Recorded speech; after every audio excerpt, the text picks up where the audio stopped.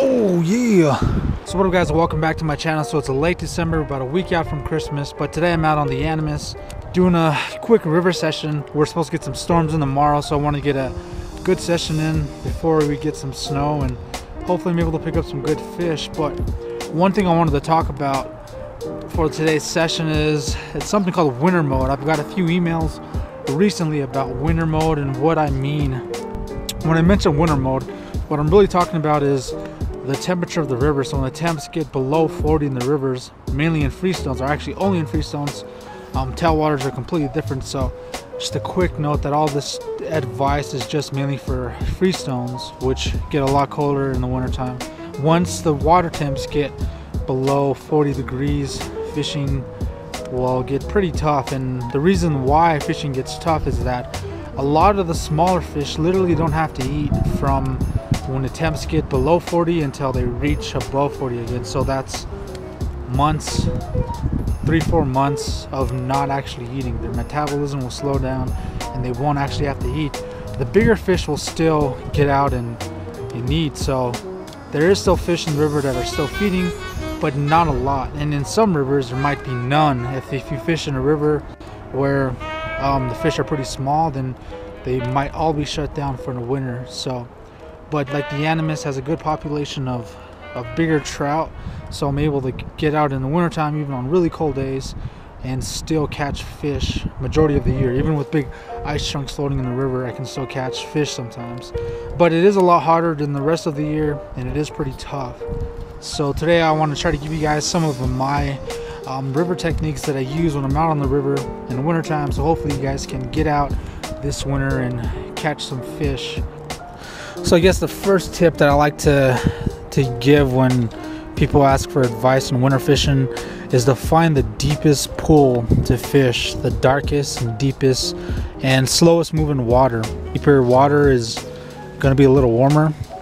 And well, another thing I like to look for in pools is is uh, sunken boulders. I like to run my nymphs right next to sunken boulders. And that is normally where I'll pull my fish. Uh, deeper holes next to sunken boulders. A deep pool will depend on the river you're fishing in. On the Animas, some of these river, some of these pools are like five, six feet deep. Um, back home in Arizona, some of the rivers I fished there, like a three foot pool might be deep enough to, to hold a trout. That's kind of in winter mode. When we're fishing in the wintertime is you have to hit the pools pretty hard. You almost have to be right on. You have to get your nymph really close to the fish they're not necessarily, they're rarely ever gonna chase the nymph down this time of the year. So you have to get it, get a good drift, and you basically have to hit them in the head. That's kind of what people say. So one thing I like to do is I like to take my time in the wintertime uh, and fish these pools a lot longer than I normally would the rest of the year, just for that reason that you know that you have to get your nymphs basically right on top of the fish. So yeah, so the first tip is deeper pools. Slow down your drifts. Heavy, real heavy. I like to go real heavy in the wintertime, even in slower pools where I could get down with a smaller bead. So slow, slow it down. Uh, heavier bugs. Sunken boulders are a good place to search for fish this time of the year. And also be patient. You have to fish the pools a lot more. The strikes on this time of the year is a lot a lot smaller you have less room for error so you have to go through multiple times sometimes to be able to get a fish. And also I think it's just the fact that you have to be there at the right time when they're actually out feeding.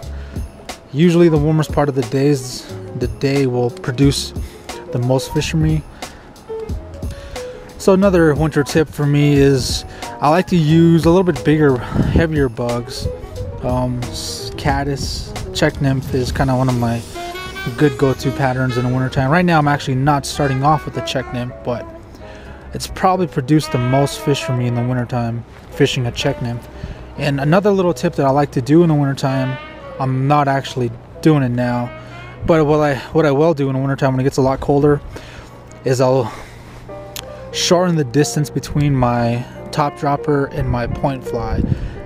Right now I'm fishing about 20 inches apart my flies only because I'm getting ready for a comp in about a month in Cherokee so I'm trying to fish um, comp legal rules right now just to just to get get some practice in for my comp coming up. But if I'm out fishing for fun, I'll shorten the distance between my top dropper and my point fly. And majority of the time when I do that is I'll get a use my top dropper as a more of an anchor pattern, real heavy. It'll get my fly down, and then the top dropper, which is about a foot above it, um, will usually catch the fish. So shorten the distance between your droppers. Use a lot heavier patterns. I like to use a lot bigger, bigger patterns this time of the year, like size 12 Czech nymphs. Like I said, it's a good pattern. Size 12 princes. I also have. I'm fishing a size 12 nymph right now, and more natural seems to seems to do the trick for me. But if it's a slow day and I feel like there's fish there, I'll go really, really flashy, like um, Rainbow Warriors and like hot pink or Batanos. Batanos are a real bright orange color that that I use and I'll use the clear flashy and as opposed to like the more green Batano. Real flashy stuff.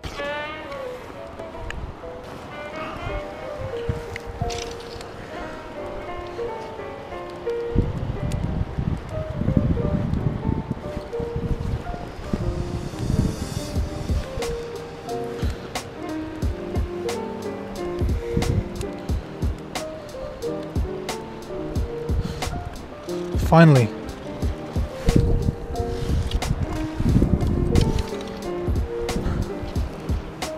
Finally. Nice rainbow on.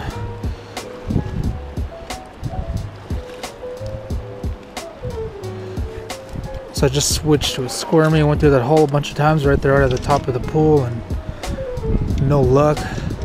Switched to a squirmy and hooked up second or third cast through there. It's a nice rainbow, about 20 inch range.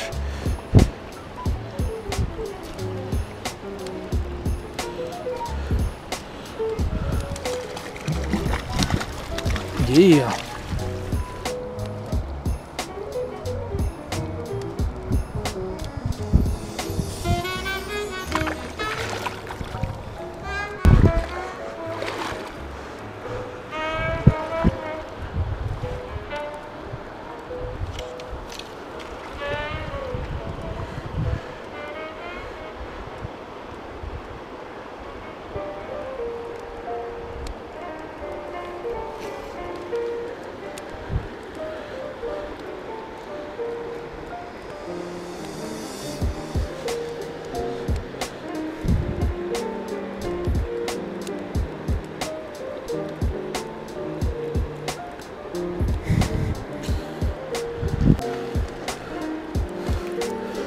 Here we go, another big brown on.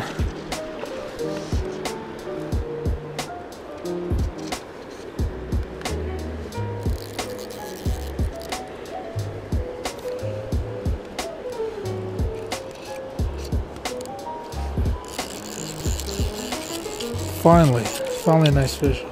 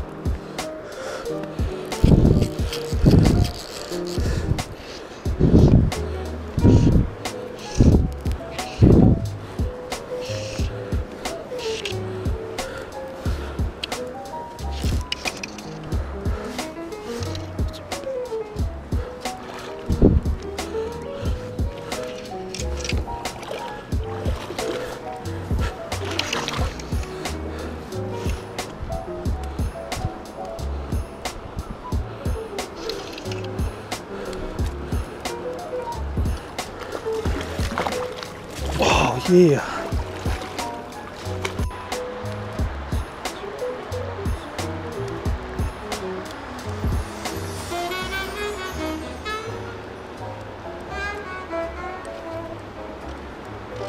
Oh yeah.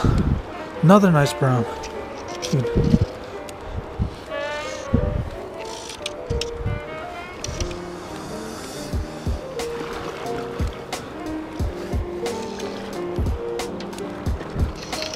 Little smaller. Still a nice fish though.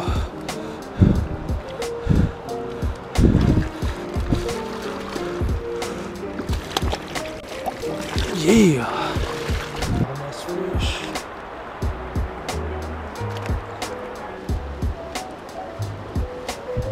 Another one. Another one. Yeah. Pulled three out of this little pool so far. Dropped him. Sorry guys, I'm gonna call it a day here. So for the most part, it was a typical day on the Animas during the wintertime. Fishing was pretty tough, pretty slow. Had to fish pretty hard, but I was still able to get in the four fish. Um, I dropped one, but I netted two browns on a rainbow. Um, they all came off of different flies. The bigger brown was off a, a little, a little France fly that had a squirmy. The, the rainbow ate a squirmy, and then the last two took uh, a caddis nymph. So overall, it was a pretty solid day, pretty tough, but that's usually how winter fishing goes.